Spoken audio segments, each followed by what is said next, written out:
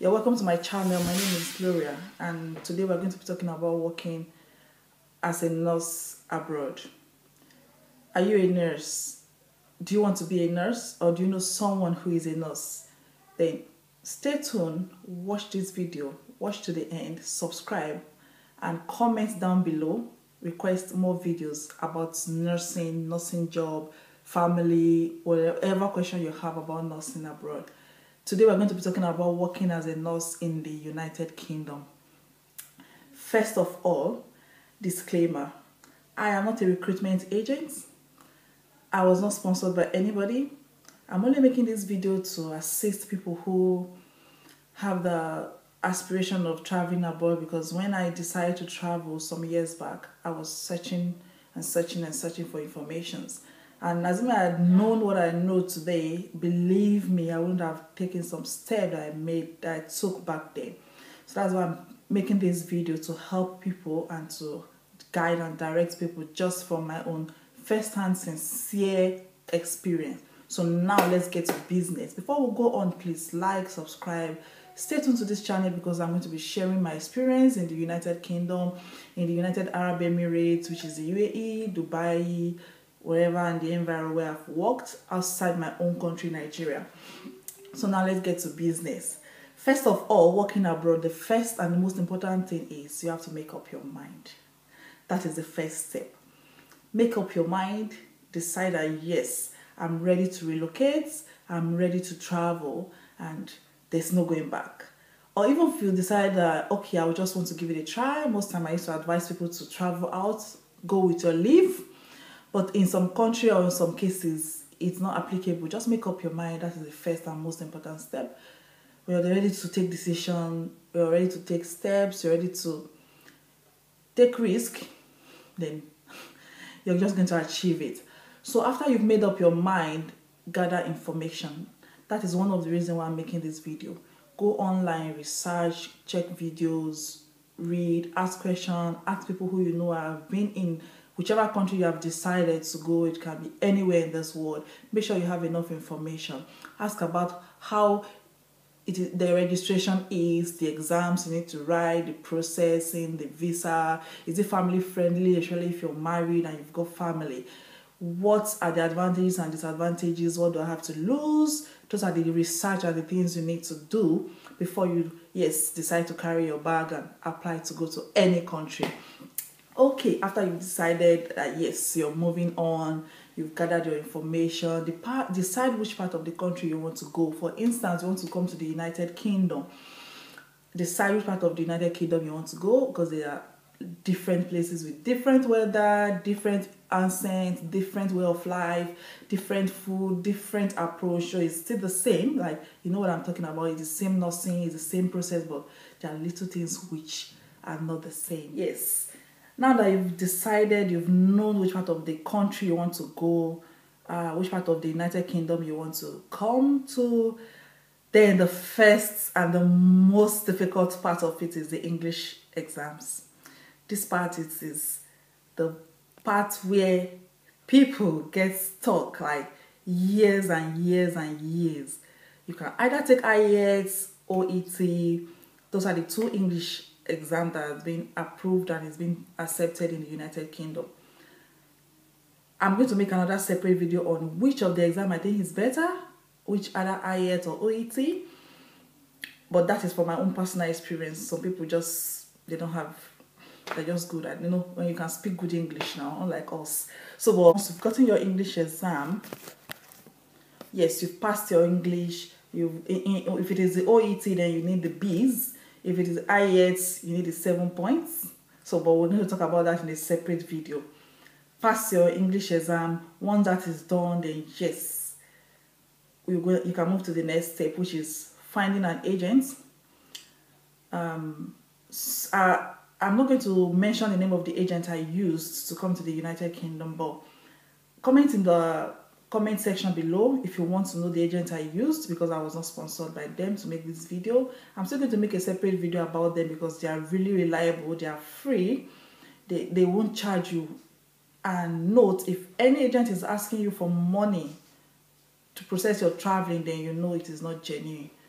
If you're interested in the agent I used, just drop a comment below. I'm going to get, give you their contacts. I'm going to explain to you how I went through mine, or I will make a separate video about them. They are very reliable.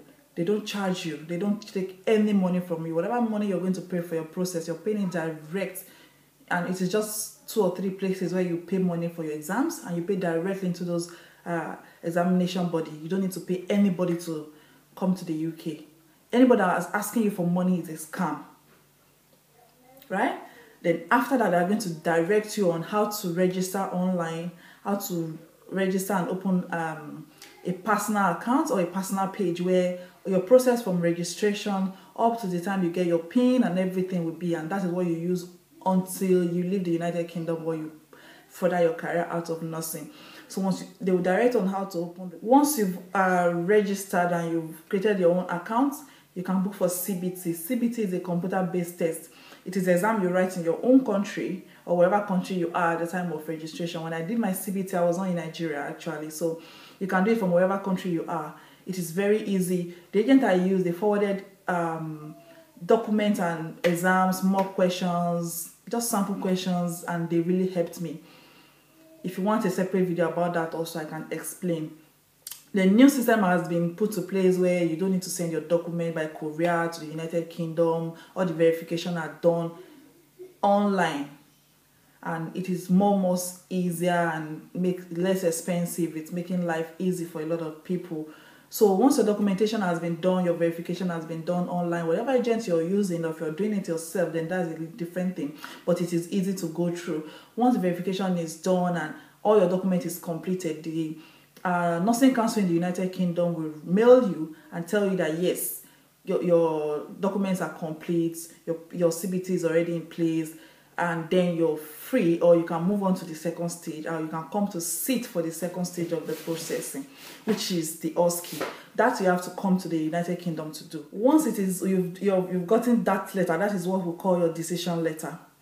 Once you've gotten your decision letter then yes things start speeding up like you're excited things are almost in place you get your decision letter then because it can be then be used to apply for your certificate of sponsorship. At this point, you will need an employer. The agent I used arrange an employer for me. They do online interview, Skype interview. You can get a job in the home care or um, NHS, wherever you want. They will arrange interview for you and you get your employ. There are lots and lots and lots and thousands of jobs in the United Kingdom. Generally, the world is in need of nurses. So getting a job is not going to be a problem. Yes definitely. So once uh, you've gotten an employer, which they will arrange for you after your once you've gotten an employer, it is the employer who will apply for certificate of sponsorship for you. The certificate of sponsorship is that it is the one that can you can use to apply for your visa. So the certificate of sponsorship is to say that yes, you've gotten a job, the employer is going to be responsible for you, and that yes, you're going to come into the country legally. So once you've got your certificate of sponsorship, they're going to use it to apply for your visa from the home office. So once your visa is applied and certificate of sponsorship, most employer will pay for it. You don't need to bother about that. The only area where you pay is when you pay for registration. You pay some dollars, just few, not so much. When you pay for your registration, then you pay for your uh, CBT yourself. Those payments, I will do other videos about them anyway. So once you've gotten your certificate of sponsorship, sponsorship rather, then you, your visa can be applied. Once your visa is applied, then yes, you're good to go. They'll ask you for a few documents. If you're there's some countries where you need to do tuberculosis tests, some few investigation from accredited hospitals that will be sent to you. But there are some countries like UAE, European countries where you don't need to do those tests because you must have done it in those countries. Once uh, those tests are true and there's no problem, your visa will be issued, which is going to be a tier two visa. Yes. so at this point, everybody is happy. You're about to come to the United Kingdom and you're about to start a new life. So when your visa is ready, you have just one month to get to the country. Within that one month, you should be ready and on your way.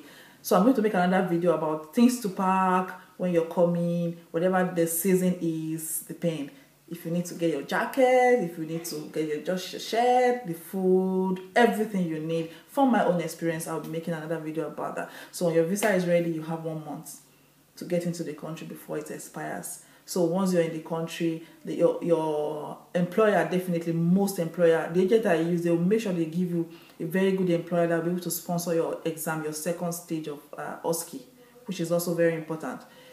You will have a lot of practice, a lot of um, tutorials. You go for trainings to sit for the exam, which is the practical aspect of the exams, which is the one that will help you to be licensed. Once you've done the exam, OSCE is another separate, separate story. I'm not going to be able to explain all these uh, steps in detail because it's going to take a lot of the time. But if you request, just comment down below and I will do the next video you request. I'm going to do the video for you.